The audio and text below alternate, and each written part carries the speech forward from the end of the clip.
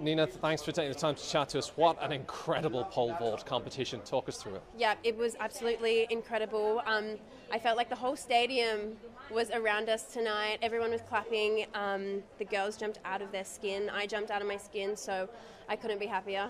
Is that one of the most incredible atmospheres you've ever jumped in? Oh, yeah. Like, it was incredible. I can't really explain it, but it was super surreal.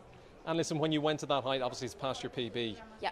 Tell me what's going through your mind, as in, what sort of belief is there to know I can continue to go and go far beyond? Yeah, um, you know, I jumped 482, you know, two or three years ago now, so I knew I had some higher heights in me, and tonight I just placed them together. I knew I knew I had 90 in me, and that belief really got me over the bar. When the bar went to 95, you know, I'd never even let my mind cross there, so I was a bit out of my depth and my comfort zone, but um, yeah, I think I held it together really well and produced some good jumps. Are yourself and Katie going to push each other to that five meter, that magical five meter Ooh, mark? My goodness, yeah, I, I think it's looking like that. Even Wilma and, and um, Tina, who came fourth tonight, I think the Olympic final next year is going to be red hot.